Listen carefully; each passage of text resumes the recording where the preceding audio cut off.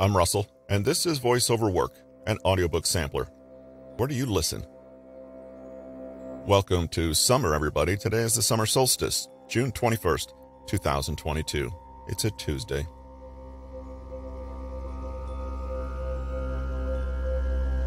Patrick King describes his new book, How to Talk to Anyone, as a unique read.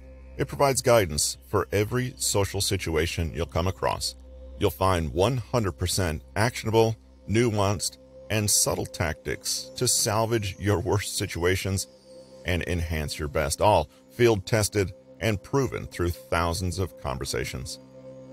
This book is newly available on audible.com and amazon.com, and here's the preview of Patrick King's book, How to Talk to Anyone.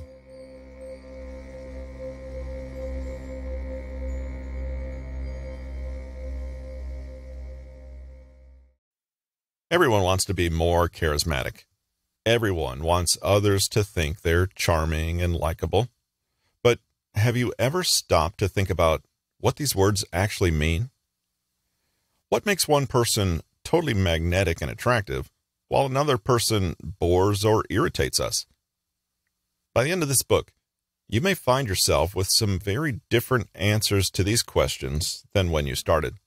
In the chapters that follow, we'll look at the key principles behind better conversations, intelligent empathy, and social awareness so you can start to have more engaging and more connected interactions with anyone, whether that's professionally, romantically, or with friends.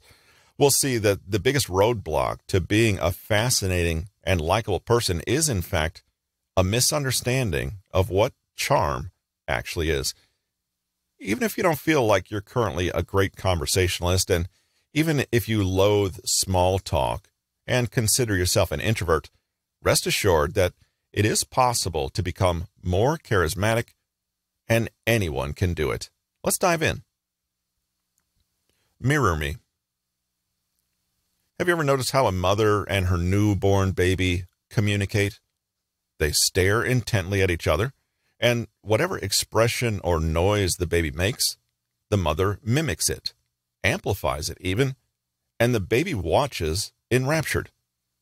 What you're watching is a primal and ancient form of communication that we all develop as babies and which our species developed in its earliest history. Many people tend to think of conversation as a verbal thing, but deep, true social connection actually starts way before a word has been spoken mirroring is a big part of this.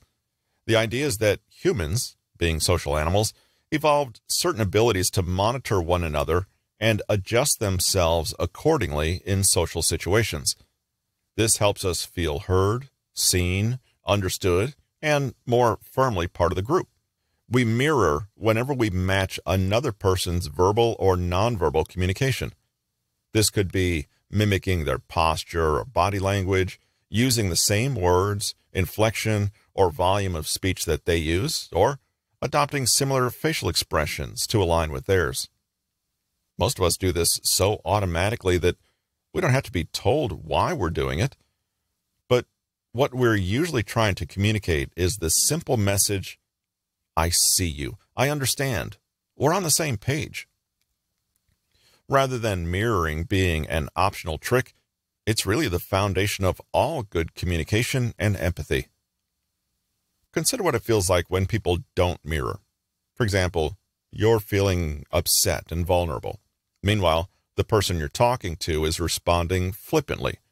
Their voice louder than yours, their tone more relaxed, and their body language more energetic and restless.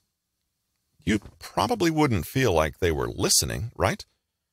Or Imagine you're excitedly sharing some happy news and the other person doesn't reflect that excitement in their facial expression, voice, or words.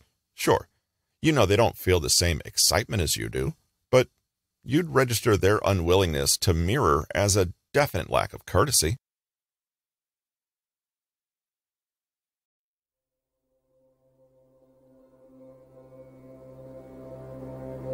Thanks for joining me in this episode of VoiceOver Work an audiobook sampler. Where do you listen?